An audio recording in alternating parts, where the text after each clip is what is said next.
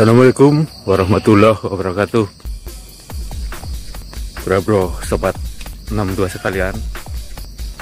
Kali ini saya akan mencari tumbuh-tumbuhan atau herbal yang bermanfaat atau berkhasiat untuk mengatasi penyakit kulit atau penyakit katal-katal kulit bagian luar yang biasanya diaplikasikan dengan cara untuk ditumbuk dan dioleskan langsung ke kulit atau bisa juga sebagai ramuan untuk dibuat jamu untuk diminum. Kali ini saya akan mencari tumbuhan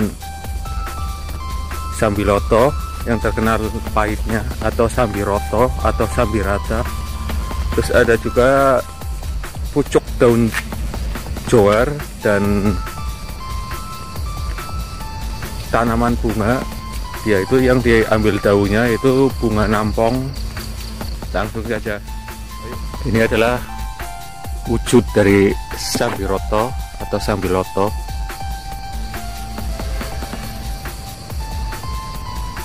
biasanya tumbuh di lahan yang teduh dan cukup lembab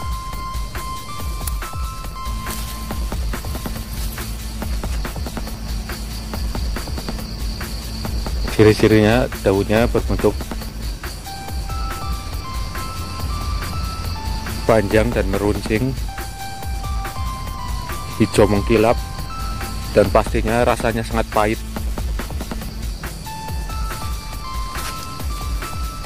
Saya akan mengambilnya sedikit-sedikit saja biar tanaman tetap lestari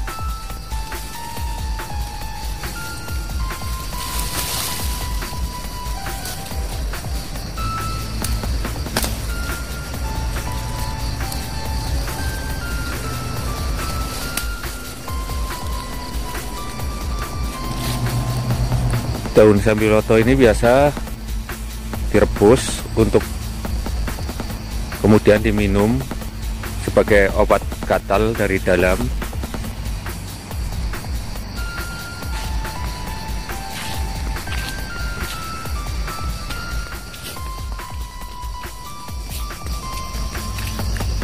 Sekarang saya akan mencari daun juar yang sekarang sudah cukup susah untuk dicari dulu di setiap kebun ada pohon joar kayunya sangat keras. Dan apabila sudah tua akan berwarna hitam di bagian dalamnya. Akhirnya nemu juga pohon joar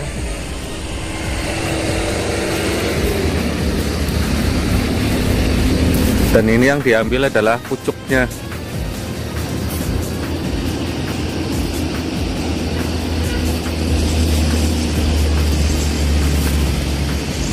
nanti akan ditumbuk terus dicampur dengan air panas kemudian digunakan untuk mandi atau untuk merendam kulit yang terasa gatal. Jadi dilakukan perendaman yaitu sebaiknya dua kali pagi dan sore hari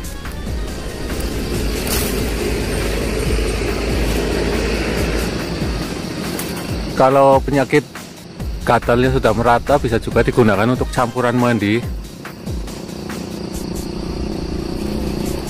Alhamdulillah ini nemu cukup banyak di pinggir jalan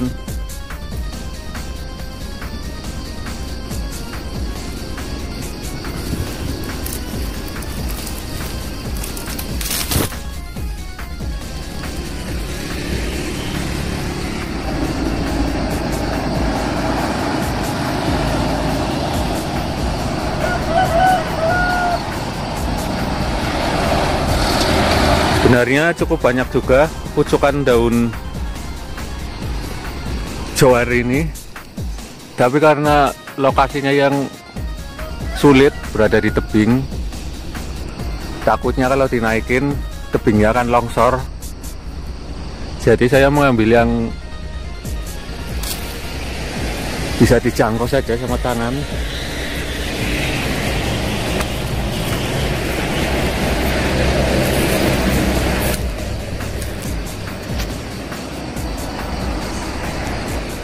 Sobat 62 sekalian. Inilah tadi hasil perjuangan saya. Naik turun tebing dan mendapatkan pucukan dari daun jawar ini. Pohon jawar termasuk adalah kayu tumbuhan kayu yang keras biasa dipergunakan untuk perlengkapan bangunan rumah biasanya buat bladar atau kasok.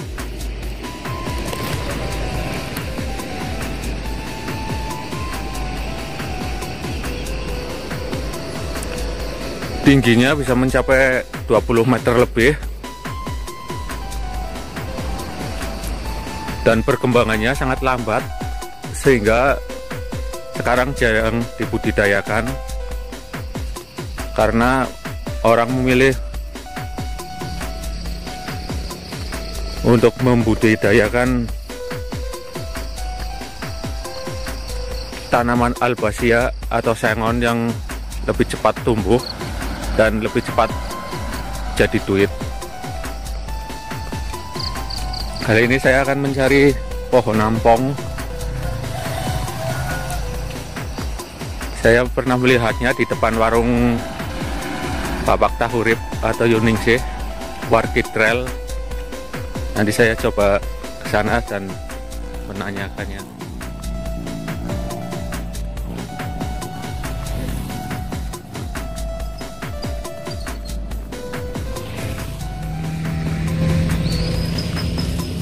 Ini dia bro bro sekalian wujud dari pohon nampong bunganya cukup cantik seperti bunga matahari. Biasa dimanfaatkan daunnya ini tumbuh sebagai dulu tumbuh liar kalau sekarang dipergunakan untuk pagar. Saya mau minta izin dulu sama Pak Tahurip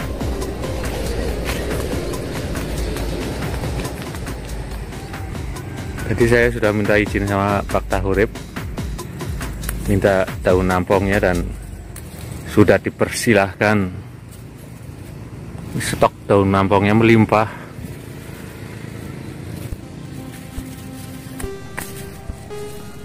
Tapi saya ambil sedikit saja dulu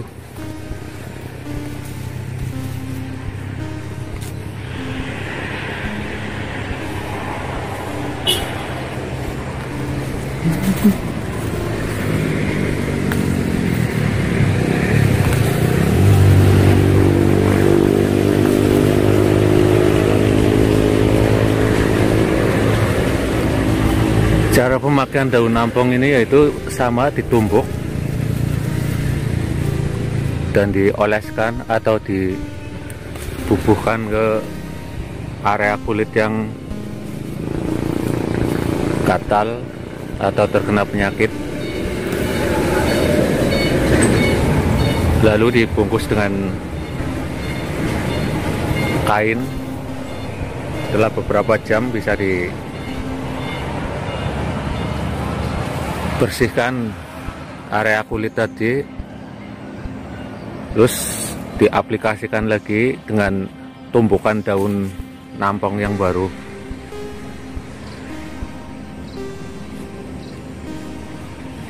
Daun nampong biasa tumbuh di dataran rendah sampai dataran tinggi.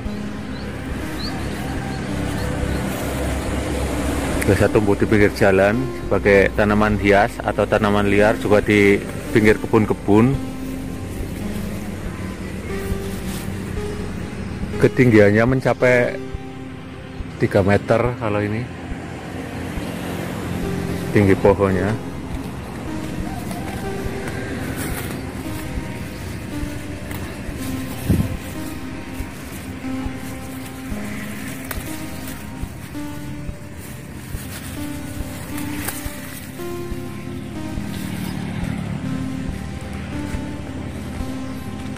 saya petik daunnya gini dulu.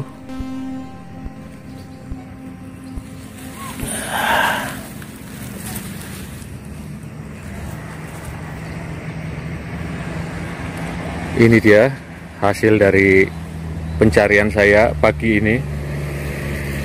Tanaman herbal untuk mengobati katal-katal pada kulit bagian luar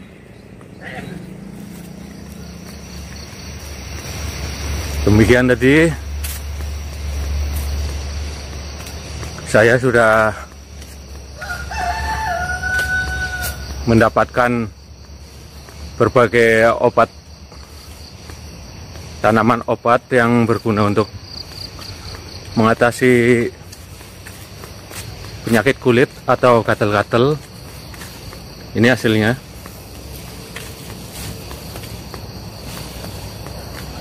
semoga tayangan ini bisa menambah pengetahuan bagi anda sekalian yang melihat video ini